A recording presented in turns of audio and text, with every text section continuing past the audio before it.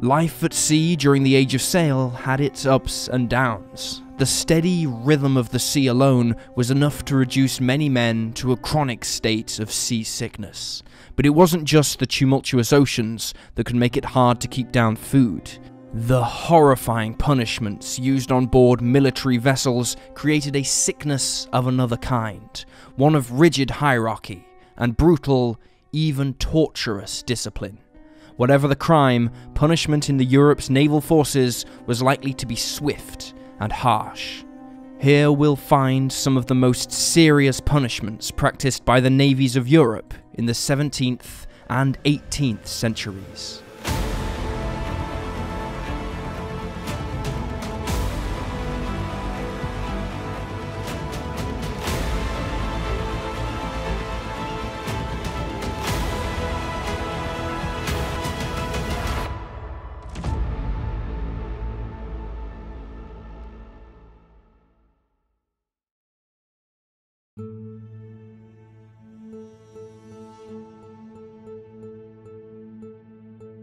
In many ways, flogging remains the iconic symbol of the cruelty of life at sea during the Age of Sail. Certainly, flogging remained the most common of all punishments used to maintain ship discipline. Also known as whipping or caning, flogging involved the administration of blows to a person's back with a whip or a rod. This may be a textbook definition, but it fails to capture just how awful this form of punishment really was. The instrument used for the punishment, for example, deviated massively. Sometimes the chosen weapon would be a wooden rod or a leather belt, an instrument capable of inflicting serious pain and even wounding cuts. Brutal, but not much different to the kinds of corporal punishment found in schools at the time. The harm caused by such instruments was as much from the public humiliation as it was from the physical discomfort. A glowing red backside did little for a sailor's reputation, with his crewmates. However, there were much more serious tools used. The cat o' nine tails, a type of whip used by the Royal Navy, was one such weapon capable of causing real bodily harm. The appearance of this tool is somewhat harmless, a handle connected to some limp looking strings, but appearances can be deceptive. Sporting nine cotton cords, known as tails, the cat o' nine tails was studded with up to three knots on each length of string. These were responsible for its fearsome impact wounds, creating numerous cuts when striking flesh. These lacerations resembled those created by cat claws, hence the name weighing 370 grams and comprised of intertwined threads of cotton unraveled and woven in a tight mesh. The whip was flexible, allowing for the application of force behind it. Concentrated on the knots and the tails, the deep cuts caused by the cat o' nine tails resulted in excruciating pain for the victim. Sometimes metal barbs and other nasty devices would be sewn into the tails, as to maximize the cruelty of this flogging device. Only a few blows were needed to skin a man's back and leave it a tangled web of crisscross knotted scars. With their shirt taken off and their wrists tied to a grate or post, the whipping of a man would always take place in front of the assembled crew. To much fanfare, a sentence would be read out, and the man would be allowed to admit to his crimes and apologise. If he were especially brave, stubborn, or foolish, he could protest his innocence and bemoan the injustice of the punishment the man doing the whipping rarely held a sympathetic ear to this sort of thing. Then came cuts or lashes, administered by the boatswain, the feared head of discipline on board. These would come with such force that one observer of a flogging stated, The sound of blows across the naked back of the sufferer may be heard at a distance of a hundred rods, which is about 500 meters away. The screaming man, suffering under these blows, was at least as audible. After a significant number of lashes from such a whip, cuts would land upon cuts, and the back of a victim would become a painful mess, open for infection. As a matter of fact, the phrase to rub salt in the wound originates in the use of the cat o' nine tails. In a desperate attempt to prevent infection, sailors would pour salt over their backs, chewed up into ribbons by the flogging. This, as the phrase suggests, was an incredibly painful process. It was also, as some ship surgeons must have known, completely useless. Seawater contains a host of bacteria. All this process would have done is hurt. One dozen lashes was the most common number to receive, and a common sentence it was too. Minor misdemeanors such as drunkenness, answering back, or a poor work attitude could land such a punishment. A sentence of 1,000 lashes was effectively a death sentence by whipping, for nobody could be expected to survive such a punishment, although this number of lashes was reserved for what those in charge felt were serious offences, such as mutiny, murder, or, horrendously, homosexuality. One man in the Navy was sentenced to 400 lashes, but having received around 175, he was let off. The man would spend the next three weeks in a hospital. The cat o' nine tails clearly was a fearsome instrument of flogging. Others existed that were as brutal, but none of these reached anything like the popularity of use the cat o' nine tails achieved. Its usage even influences our language today, through the popular idiom, not enough room to swing a cat. Yes, the expression doesn't come from people of the past swinging kittens by the tail, it comes from the cat o' nine tails, meaning not enough room to swing a whip. Spread around the world in the bellies of British shipping, the cat o' nine tails found use globally, shaping the way not just sailors were disciplined, but soldiers, slaves, and criminals too. Sadly, this piece of naval heritage has yet to be confined to the history books entirely. Although not practiced in the United Kingdom since 1948, the practice of flogging remains in many former parts of the British Empire, especially in the former colonial possessions of the Caribbean.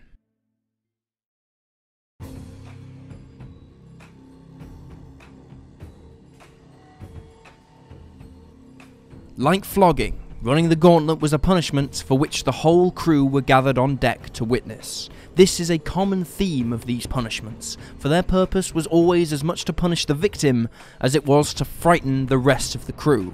With little to incentivize good behavior, for pay and rations were tight, punishments were important to discourage bad behavior. Running the gauntlet takes this element of group involvement to the next level. Rather than just observing the punishment, the crew became actively involved in carrying it out. Used since antiquity in the armies of Greece and Rome, as well as other armies since, running the gauntlet involved a condemned man making circuits of a ship, walking round it while his crewmates struck out at him. Forming parallel lines for the sailor to walk through, crew members would lash out with their legs, fists, and weapons, striking the person as they passed through the ranks. Various rules existed, though they differed from ship to ship. Edged weapons were generally banned, and the runner was often given the opportunity to shield their face with their arms. Running was allowed, but seen as highly dishonourable, and might provoke greater aggression from the surrounding crew members. Here was a way for crew members to not only pass judgment on fellow crew members who broke rules, but to act it out themselves. This mental separation from a crew member and complicit role in their punishment was a highly effective way of mentally separating the two, helping create a heightened sense of us and them, obedient and disobedient. Running the gauntlet could backfire on the captain and his authority, however. Relying on the crew to punish a fellow crew member was a bad choice if the punishment was seen as unfair, or if the sentenced crew member happened to be very popular. This happened in 1760. Francis Leynon, a seaman aboard the HMS Royal George, was sentenced to run the gauntlet three times. The crew were clearly sympathetic to the man, for he received no real punishment at all, and all who struck him did so only for show. As we can see, despite the brutality of the punishment and the era, there were moments of compassion and friendship still to be found.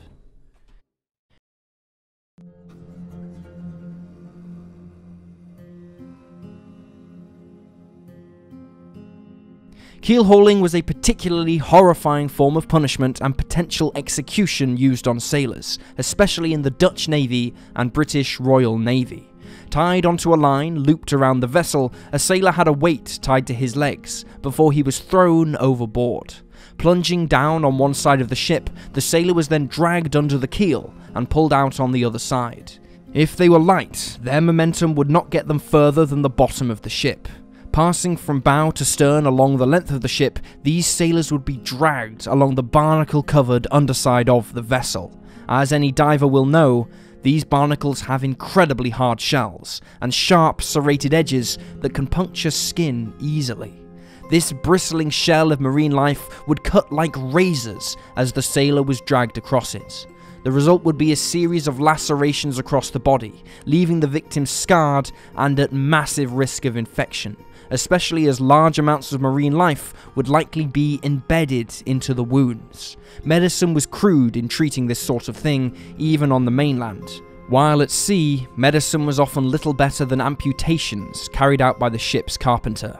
In agony, as suppurating wounds, inflamed and rotting, sapped the strength from the victims' exhausted bodies, few of these men survived their next few weeks. Heavier sailors avoided some of this, for their momentum carried them past the bottom of the ship during the initial descent. As they surfaced, however, they would rush up straight into the bottom of the ship, colliding into the hull or keel. The head trauma this caused would, if not fracturing the skull entirely, leave the sailor unconscious and at high risk of drowning. In a type of cruel mercy, the unconscious men would be spared the awareness of pain as their bodies were then dragged along the bottom of the ship. If the sailor survived the first round of punishments, it may then be repeated. In such cases, the injured and bleeding man would be given time to rest. This was not to allow them to recover, but instead to ensure they felt the pain of each descent round the ship to the maximum possible extent. Keel hauling was cruel, but served a very specific function for naval commanders. Like flogging, where men were tied to a post and whipped, keel hauling was a show punishment. This is a type of discipline focused on shock, show punishments, focused on creating an image so horrifying in the minds of all watching so that other potential offenders would be frightened into obedience. The kind of atmosphere present during this gory show is hinted by a Dutch painting by Lieve Pietersz. In it, the keel hauling of a ship's surgeon is shown. The sense of occasion is evident, with men from numerous other vessels rowing out to witness this poor man's fate. Thus, keel hauling represents a kind of psychological control, with the incredible pain of one member, witnessed and felt by all, serving to warn onlookers. With supplies often tight and conditions often cramped, social control was vital in ensuring a vessel crammed with violent, hungry, and drunken sailors remained disciplined. Keel hauling demonstrates a vicious and cruel but important aspect of life for mariners sailing on the high seas. Although banned in 1720 by the British and 1750 by the Dutch, the practice cropped up from time to time until at least the mid 19th century. With its likelihood to either kill outright or permanently maim, keel hauling represents one of the most fearsome forms of punishment at sea.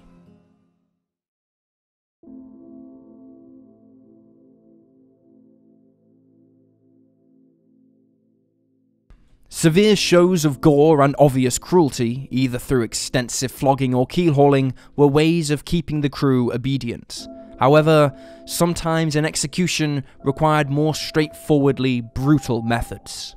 The most severe punishment in any naval body was usually hanging at the yard arm. This was the large pole that went through the mast. With bound hands and feet, those to be hanged at the yard arm would be slowly pulled up by one of the many thick ropes on the ship's rigging, attached to a noose wrapped around their necks. In solemn silence, the entire crew would watch as these men slowly died of strangulation. With many onlookers having shared living space with that man, having often travelled for months together, sharing everything from food to life stories, this grim, silent affair must have been particularly awful. Seen as the final punishment for serious crimes such as desertion or mutiny, hanging at the yardarm acted as a powerful deterrent to anyone thinking of rebellion, dangling the victims prominently on the ship for days or even weeks before being cut down. This list of cruel punishments used in the Age of Sail is far from complete.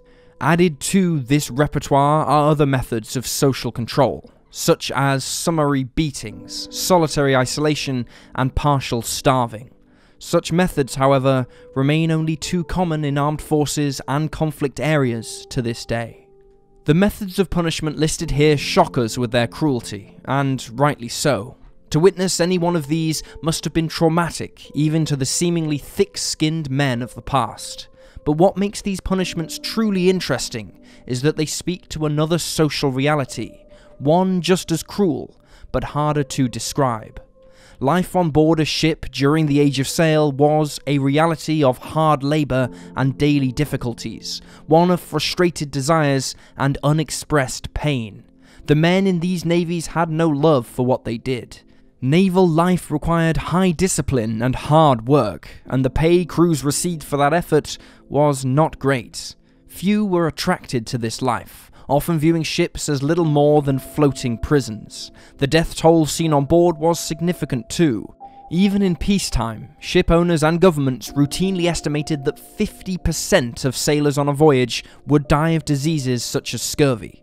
Consequently, in the 18th century, the British Royal Navy and Merchant Navy would recruit between 50,000 and 100,000 men yearly, just to replenish the ranks and keep the system afloat.